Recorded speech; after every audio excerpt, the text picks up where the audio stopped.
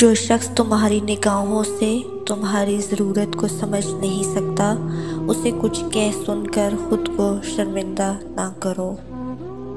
ताजुब है उस पर जो तकदीर को पहचानता है और फिर जाने वाली चीज़ का गम करता है। ताजुब है उस पर जो दुनिया को फ़ानी जानता है और फिर उसको रगबत देता है।